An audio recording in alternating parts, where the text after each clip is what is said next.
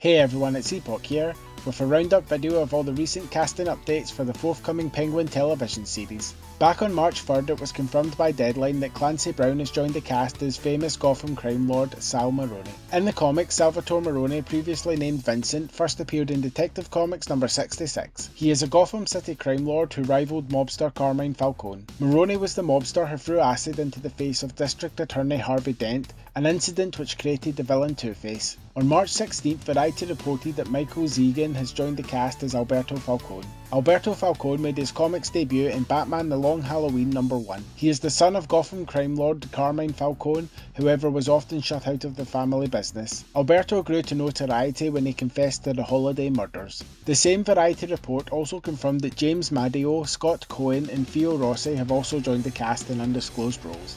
On April 10th, Variety went on to report that Carmen Ejogo, Francois Chau, and David H. Holmes have also joined the cast in undisclosed roles. A release date for the Penguin series has not been confirmed as of yet, however, the series is currently filming in New York. So let me know in the comments below, you excited by these additions to the Penguin cast, and will you be checking out the show whenever it releases? If you enjoyed this video, then please hit that like and subscribe button, and don't forget to share it throughout Gotham City. Thanks for watching.